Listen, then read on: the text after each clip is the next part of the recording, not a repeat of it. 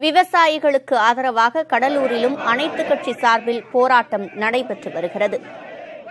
டெல்லியில் விவசாயிகள் வேளாண் சட்டங்களுக்கு எதிர்ப்பு தெரிவித்து தொடர்ச்சியாக போராட்டத்தில் ஈடுபட்டு வரும் நிலையில் இன்றைய தினம் நாடு தழுவிய முழு அடைப்பு போராட்டத்திற்கு அழைப்பு விடுத்திருந்தனர். இந்நிலையில் அதற்கு தமிழகத்திலும் ஆதரவு பெருகி வரும் நிலையில் ஆங்காங்கே பல மாவட்டங்களில் அனைத்து கட்சியினரும் ஒன்றிணைந்து போராட்டத்தில் ஈடுபட்டு வருகின்றனர். அந்த வகையில் கடலூரில் விவசாயிகளுக்கு ஆதரவாக தற்போது அனைத்து கட்சியினரும் போராட்டத்தில் ஈடுபட்டு வருகின்றனர்.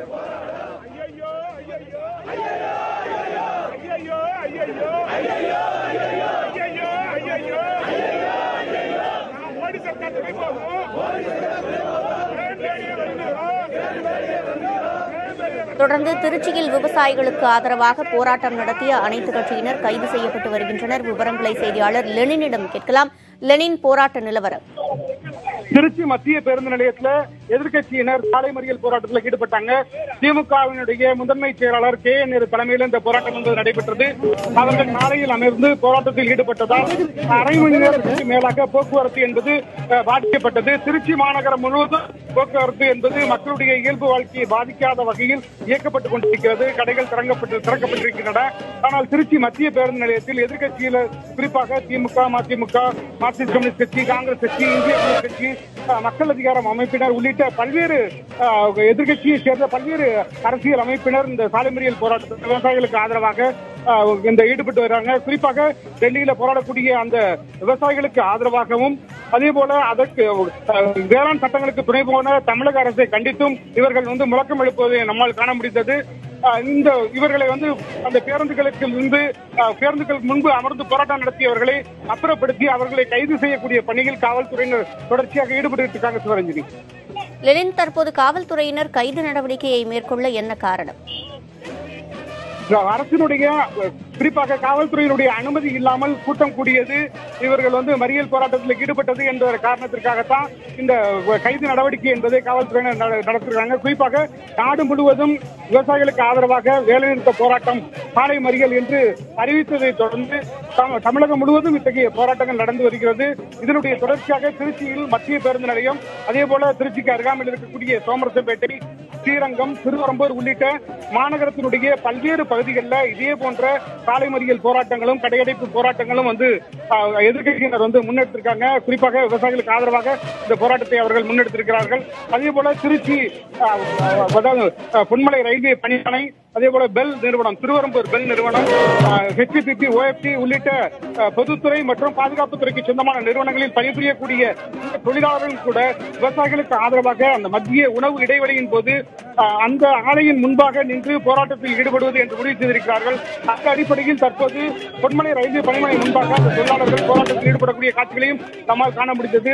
தற்போது இந்த திருச்சி மத்திய பேருந்து நிலையத்தில் தலைமறியல் போராட்டத்தில் ஈடுபட்டிருக்கக்கூடிய அந்த விவசாயிகள் உள்ளிட்ட தொழிலாளர்களையும் எதிர்கட்சியினரையும் எதிர்க்கட்சியினரையும் கைது செய்யக்கூடிய பணிகள் வந்து ஆஹ், காவல்துறையினர் ஈடுபட்டிருக்காங்க. அரசுக்கு எதிரான முழக்கங்களை பாடல் வாயிலாக மக்கள் அதிகாரம் அமைப்பினர் இசைத்துக் கொண்டு பாடிக்கொண்டும் சாலையில் அமர்ந்து காட்சியை நம்மால் காண முடிகிறது சிவரஞ்சனி லெனின் விவரங்களை வழங்கியமைக்கு நன்றி. தொடர்ந்து கடலூரில் விவசாயிகளுக்கு ஆதரவாக அனைத்து கட்சியினர் போராட்டத்தில் ஈடுபட்டு வருகின்றனர். அது குறித்த விவரங்களை செய்தியாளர் ஸ்ரீதரிடம் கேட்கலாம். ஸ்ரீதர் திருச்சியை பொறுத்தவரையில் அங்கு போராட்டத்தில் ஈடுபட்டவர்கள் கைது செய்யப்பட்டிருக்கிறார்கள். தற்போது கடலூரிலும் அனைத்து கட்சியினர் போராட்டத்தில் ஈடுபட்டிருக்கும் நிலையில் காவல்துறையினர் பாதுகாப்புக்காக அங்கு குவிக்கப்பட்டிருக்கும் காட்சிகளை நம்மால் பார்க்க முடிகிறது. இந்நிலையில் போராட்டக்கள சூழல் என்ன?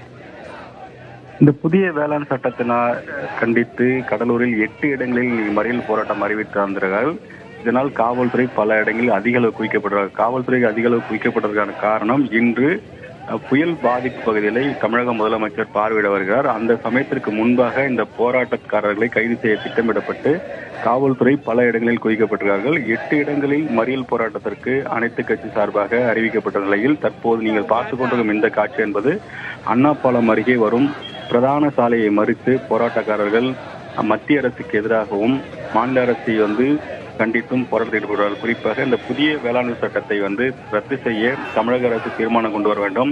இதை மத்திய அரசு வலியுறுத்த வேண்டும் என்று கோஷமிட்டு அனைத்து கட்சி சார்பாக தற்போது சாலை மறியல் என்பது அண்ணா பாலம் அருகே நடைபெற்று வருகிறது. இந்த போராட்டத்தை கைவிட மறுத்து தற்போது காவல்துறையுடன் வாக்குவாதத்தில் ஈடுபடுகிறார்கள் போராட்டத்தை கைவிட மாட்டோம்.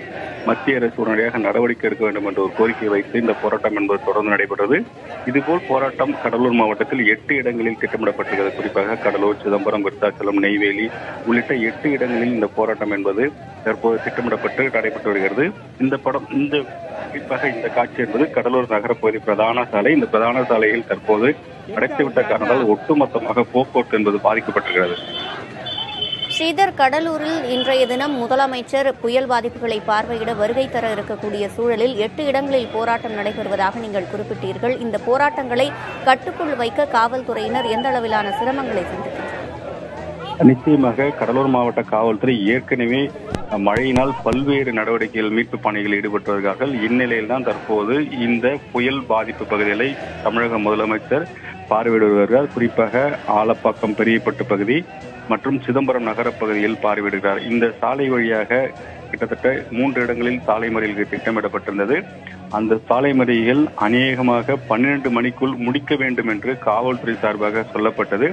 ஆனாலும் அதை தொடர்ந்து இவர்கள் வந்து அதிகப்பட்ட திட்டமிட்டார்கள். தற்போது அங்கு குவிந்த போராட்டக்காரர்களை காவல்துறை கைது செய்ய முயற்சிக்கிறார்கள். ஆனால் அவர்கள் போராட்டத்தை கைவிட மறுத்து தொடர் போராட்டத்தில் ஈடுபடுகிறார்கள்.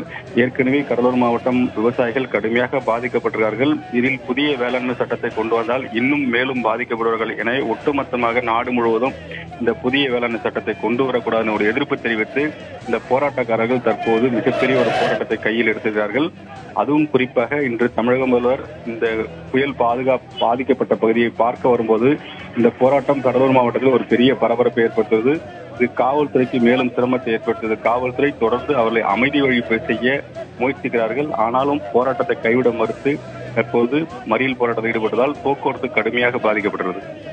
விவரங்களை வழங்கியமைக்கு நன்றி ஸ்ரீதர்.